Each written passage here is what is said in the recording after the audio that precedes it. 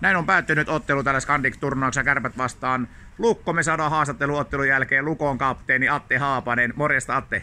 Moi. Atte, fiilikset pelin jälkeen? No, aika huono, että häviö harmittaa aina.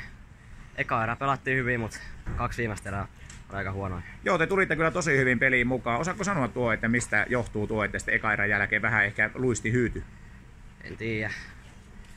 Voi olla, että vähän jotain kärpät pääsi peliin mukaan ja oli eka erä vähän aamu, aamupeli ollut, niin kärpät ei oikein osannut valmistautua peliin.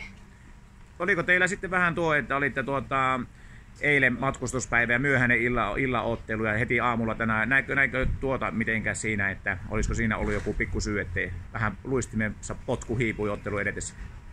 No en, en mä usko oikein, että eilinen peli, niin ihan hyvin pelattiin se ja kyllä tääkin nyt se eka erä oli hyvä, mutta en, en tiedä mistä. No ei missään tapauksessa Atte kannata liikaa päätä painaa painuksi. Se oli loppujen lopuksi kuitenkin hyvä peli ja maalin tappio. Ja mun on Atte pakko nostaa sinut esiin. Mä oon jo eilen hehkuttanut sua ottelussa tapparaa vastaan ja tänään se sama meno jatkuu. Mistä Atte on kotoisin sulla tuo loistava luistelu ja kiekon ylöstyö tuonti? Sulla on mahtava tuo sun peliä seurata. Onko tuo ollut aina, aina niin kuin ihan luonnollista sulle tuo, että tykkäät kiekkoa tuoda ylös? Joo, no kyllä sitä olen tehnyt ja kyllä sitä aika paljon harjoiteltukin.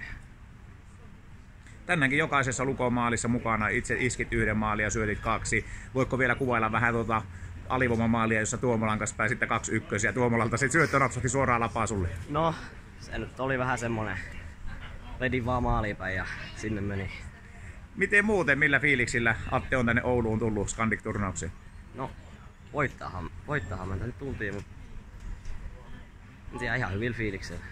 Mahtavaa kuulla. Tuota, miten Atte, käydä vähän läpi vielä, onko sulla joku suosikki jääkiekkoilla, ketä olet juniorina fanittanut, onko vieläkin joku, kuka on, ketä fanitat? No, Sebastian Aho on semmonen. Pistä Atte Kopo tuohon mahtava. Meillä on samaa, ketä me fanitetaan.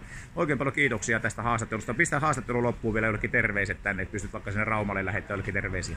No, terveisen vanhemmille varmaan katto peliä. Siinä lähtee vanhemmille terveiset. Kiitoksia haastattelusta Atte Haapanen. Oikein paljon tsemppiä vielä tähän lopputurnaukseen. Kiitos.